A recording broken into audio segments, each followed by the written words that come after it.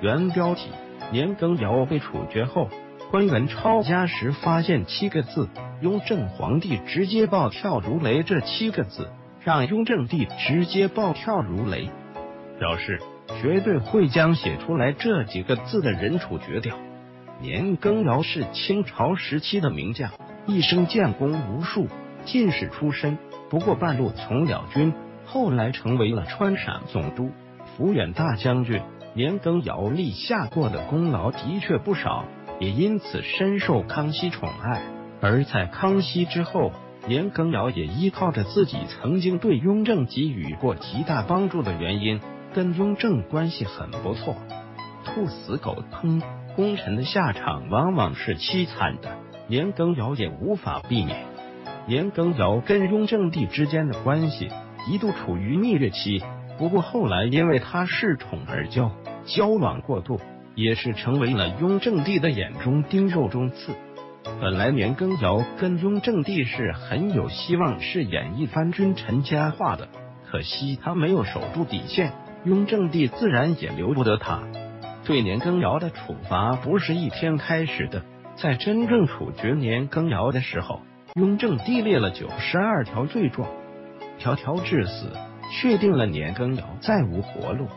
而根据大清的律法，在处决大臣以后，往往都是要抄家的。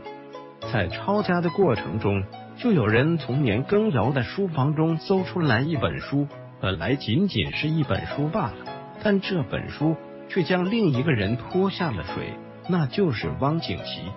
汪景祺是一个读书人，富有诗书，但为人却十分骄纵。或许也因为他目中无人。虽然有点才华，但却始终没有得到重用。但这都在他遇到年羹尧以后结束了。他成为了年羹尧的谋臣，为年羹尧出谋划策。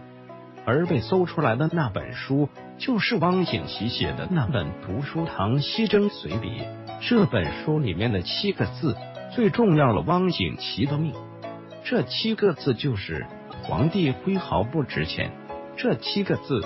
本身就具备着一种讽刺意义，主要就是在说康熙帝没啥文化，但是还非要题字。可以说，这七个字是实打实的对康熙帝的讽刺挖苦。雍正帝看见这七个字，怎么能不怒？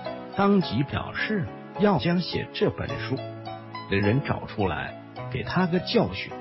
当然了，汪景祺因为写的这七个字，还被雍正帝发现了。自然也是受到了处罚，而他的处罚力度就有点大了。先是他自己被斩首了，这还不算，还要挂在城墙上几十年；而他的妻子儿女都被发配边疆，几乎没了活路。他的兄弟们也都被从原来的官职上革除。可以说，汪景祺一个人牵连了整个家族。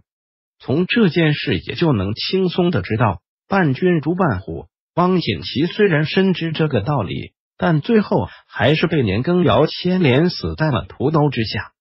返回搜狐，查看更多责任编辑。